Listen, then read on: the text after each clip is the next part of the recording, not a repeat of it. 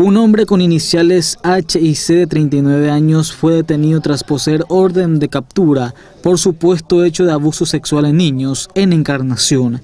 Agentes policiales de la comisaría segunda dieron con el paradero del mismo en el barrio Ciudad Nueva. Se procedió a la prisión preventiva al traslado del señor al centro de rehabilitación social, dando cumplimiento a un oficio judicial uh, emanada del juzgado penal de garantía número 4, firmado por el juez penal de garantía, eh, abogado eh, Juan Carlos Guarín Fatecha, por un caso de abuso sexual de niños. Dando el cumplimiento a la orden judicial, nosotros no, no sabemos la, la, la, causa, solo por abuso sexual de niños.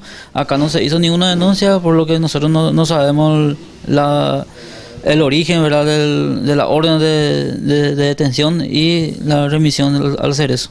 ¿Dónde se habría hecho la, la denuncia, No, no, no, no sabemos eso, señor. Seguramente en la fiscalía mismo, por, eh, por la víctima realizó la denuncia.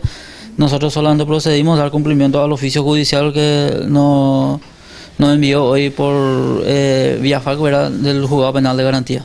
¿Esta persona tiene antecedentes penales? No, eh, acabamos de averiguar, la persona no tiene con ningún eh, antecedente ¿verdad?